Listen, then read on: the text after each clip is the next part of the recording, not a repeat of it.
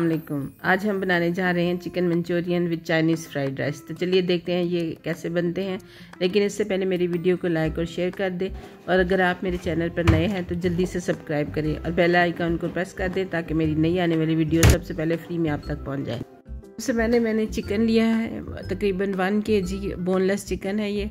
और इसको मैंने दो टेबल स्पून कॉर्नफ्लोर एक टेबल स्पून काली मिर्च, एक टेबल स्पून कुटी हुई लाल मिर्च थोड़ा सा नमक, दो चम्मच सिरका और सोया सॉस लगा के इसको मैरिनेट कर, आधे घंटे के लिए छोड़ दिया मैरिनेशन के लिए।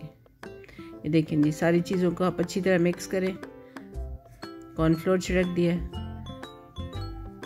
और एक अंडा लगाया इन सारी चीज़ों को मिक्स करें चिकन के साथ और इसको अच्छी तरह मिक्स करके आधे घंटे के लिए मैरिनेशन के लिए छोड़ दें।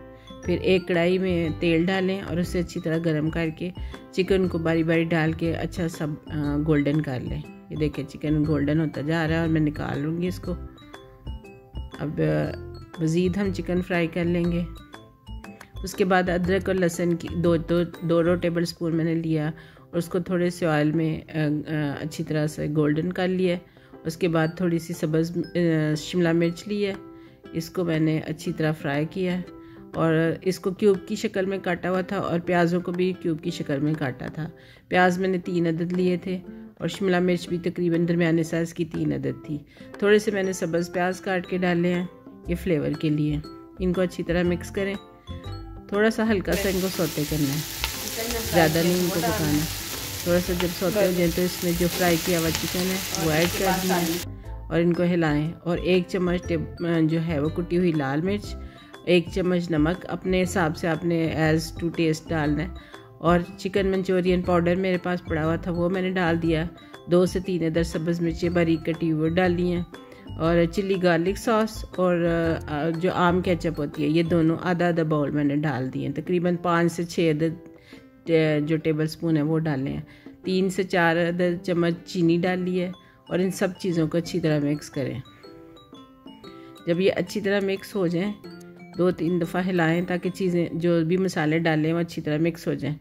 फिर मैंने यखनी बना के रखी हुई थी चिकन की, वो चिकन स्टॉक जो होता है, वो मैंने इसमें ऐड कर दिया। ये आप अपने आप हिसाब से डाल दें कि अगर आपको ज़्यादा थिक चाहिए तो आप ज़्यादा डालें और अगर आपको नहीं चाहिए इतना थिक तो आप थोड़ा डालें।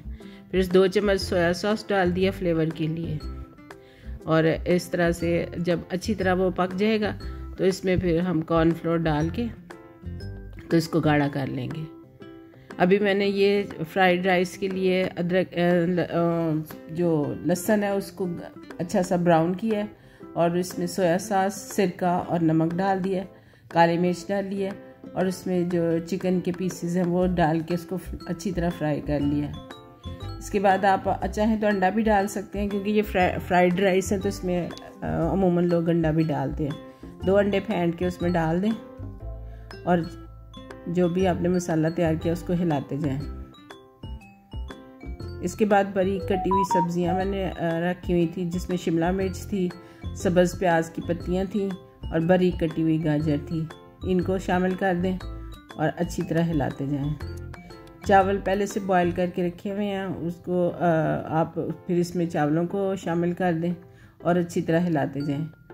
और अपने टेस्ट के हिसाब से आपने अगर मिर्चों को तेज़ रखना है तो काली मिर्च आप और डाल सकते हैं। थोड़ा सा सिरका डाल सकते हैं। ये मैंने चिकन स्टॉक डाला ताकि अच्छी तरह चावल जो हमें मिक्स हो जाए मसाले के साथ।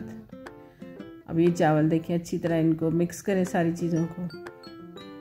यहाँ पे मैं चिकन जो है वो थोड़ा सा रेडी हो गया था तो मैंने ये कॉर्नफ्लोर को थोड़े से पानी में मिक्स करके तो इसमें शामिल कर दिया है। इससे ये जो हमारा चिकन मंचूरियन है वो थोड़ा थिक हो जाएगा।